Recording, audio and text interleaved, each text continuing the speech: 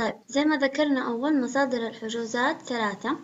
عندنا الهاتف أحدى مصادر الحجوزات ولذلك دائما يفضل أن موظف الحجوزات يكون عنده Customer Service Skills.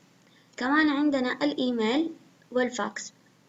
طبعا زمان كان الفاكس يعتبر مصدر مهم آه، للحجوزات بالذات لل travel agencies أو وكالات السفر والسياحة القادمة من برا السعودية ال international زي South Africa وكذا بس حاليا يعني زمان كان يقال إنه الفاكس أو الحجز الذي يجيك عن طريق الفاكس هو ال official أما الإيميل ليس official لكن حاليا انقلبت صار الإيميل أكثر official وأكثر فعالية. إذا كان إذا ذكر آه شو اسمه شخص معين أو ذكرت شركة معينة أو ذكر آه وكالة سفر وسياحة معينة إنه عن طريق الإيميل إنها ستقوم بتكفل التكاليف لهذا الحجز عن طريق الإيميل فهذا يعتبر يعني زي ما تقول له يعني وثيقة معتمدة إنه غصبا عنهم حيضطروا يدفعوها. مكونات الحجز الصحيح. إيش عندنا الحجز الصحيح؟ عندنا اسم الحاجز اسم المحجوز له لأنه في مرات المتصل يكون شخص لكن هو بيحجز لشخص آخر. أو مثلا تكون الشركة فلانة الفلانية بتحجز لشخص معين فيفرق اسم الحاجز عن اسم المحجوز له. اسم الشركة والجهة التي يعمل فيها طبعا هذا مهم ليه؟ لأنه زي ما ذكرت أول إذا كان له تخفيض. بالنسبة للتخفيضات التي تجي من الشركة أو الجهة المعينة عادة عادة وهو المتعارف عليه.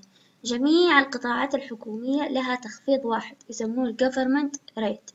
إذا كان هو جاي من وزارة الصحة من وزارة الاتصالات من أي وزارة هو ياخد تخفيض معين. عادة يكون يتراوح يعني ما بين عشرة لعشرين في المية على الحجز. في حالة الشركات يفرق حسب الشركة المتعاقد معها طب إذا كانت هذه الشركة مو متعاقد معاها تاخد السعر الطبيعي اللي هو ال best available rate اللي هو السعر اللي ياخده أي زبون عادي زي ساكن في الهوتيل عندنا.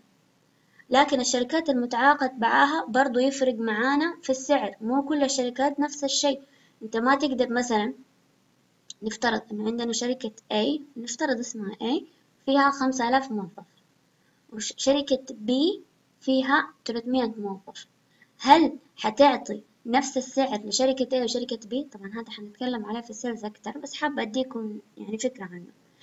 آه ما تقدر. ليه؟ لأنه شركة A فيها عدد موظفين أكثر فإمكانية الحجوزات حتيجي منه أكثر فبالتالي فبالتالي بتديله تخفيض أكثر.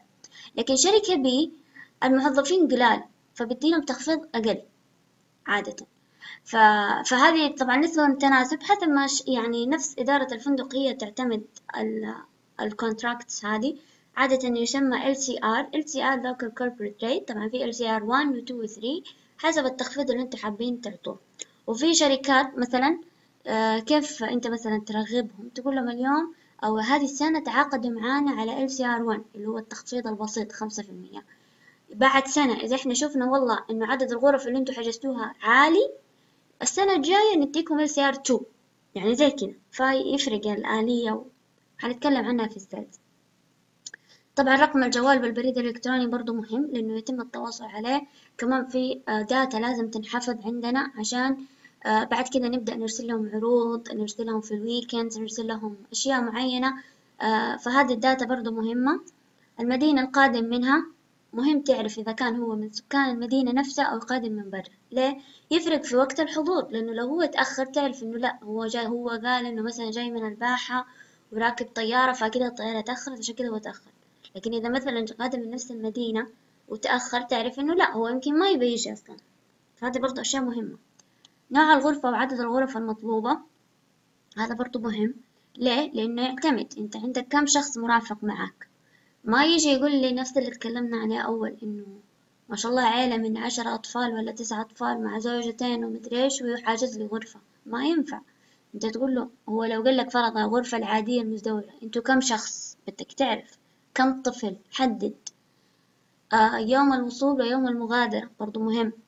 ساعة الوصول برضو مهم. ساعة الوصول زي ما ذكرت أول عشان على حجز الغرفة. فإذا كان مثلا حاجة متأخر تحجز له غرفة أنت عارف إنه القسط فيها حيخرج متأخر.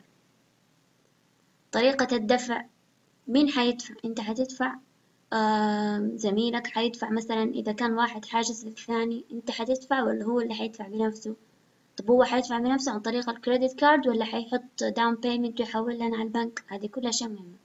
طلبات خاصة طبعا في حال يبغى مثلا يقول لك دور أدوار علوية أدوار سفلية مطل على المدينة مطل على البحر هذه كلها أشياء مهمة وبدك تكتبها برضو في الحجز هذه نموذج لاستمارة طلب حجز آه طبعا كل فندق ليه صلاحية وليه حقية يعمل نموذج الخاص به بس أنا زي جبت لكم مثال قلت أوريكم الفكرة بس إنه زي كده يكون في رقم حجز طبعا هذا رقم الحجز يكون برضه هو نفسه الموجود في ال system system الحجوزات. هنتكلم عن system الحجوزات. في تاريخ الوصول في تاريخ المغادرة اسم الضيف ما أدري إيش هذه. آه اسمه محمد مثلا وحاجز غرفة هذه نوع الغرفة ديلوكس وعددهم اثنين. الغرفة الديلوكس كانت في ذا الفندق هي الغرفة الأقل الأدنى فكان عددهم اثنين يعني هو زوجته أوكي fine يعني.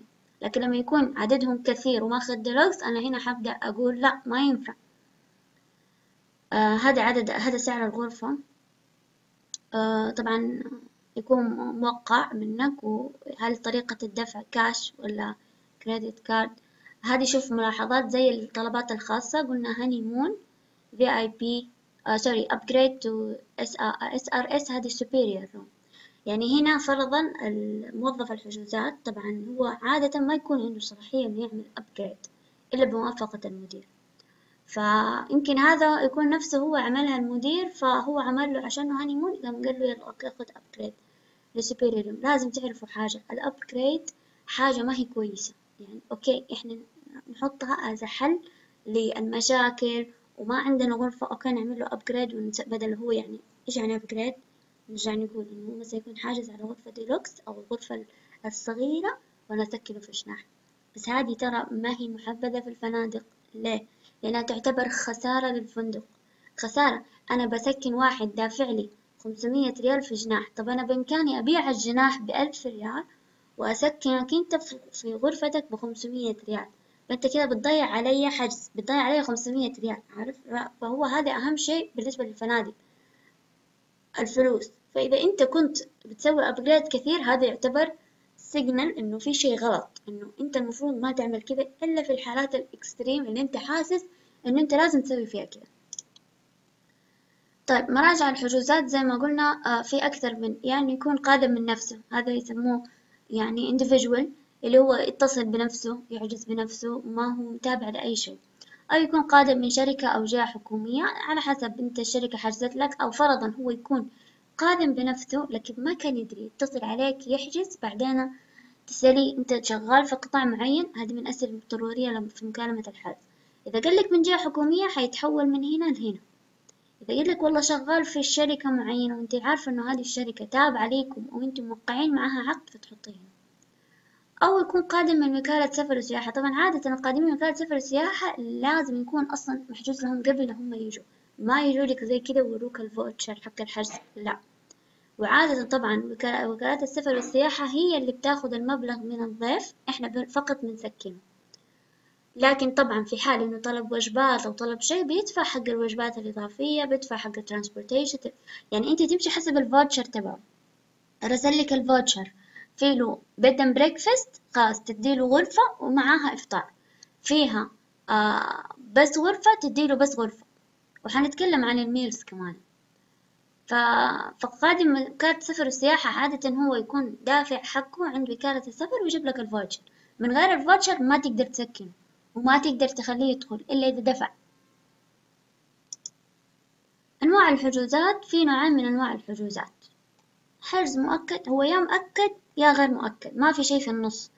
المؤكد يكون الضيف يضمن للفندق الحضور وحجز الغرفة له حين حضوره. كيف يضمنها؟ دحين حنتكلم اللي هو عن طريق الفلوس أو عن طريق شيء معين. لكن غير مؤكد هذه حاجة مهمة. سيقوم الفندق بحجز الغرفة للضيف إلى الساعة ستة مساء من يوم الوصول.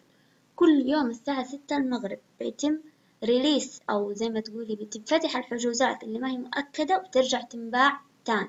أما الغرف المؤكدة بتقعد زي ما هي مؤكدة لين إن شاء الله تاني يوم ما في مشكلة.